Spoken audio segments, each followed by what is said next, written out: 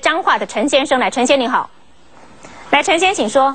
台湾真是在实施一国两制，那个一边是每到选举必定满票，拥有千亿的党产，另一边则是没有党产，还要选民捐款，一边是退休后十八趴，所得替代率甚至超过一百趴，金教还要免税，国库就不会被掏空。另一边加了三百十六块，国库就会被掏空。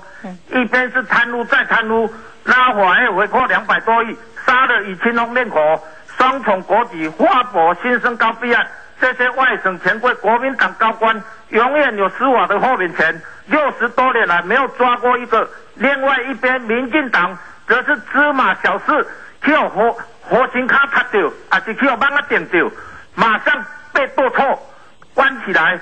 我们彰化县议员买票买到落选的人全部递补上去，已经没有人可以递补了。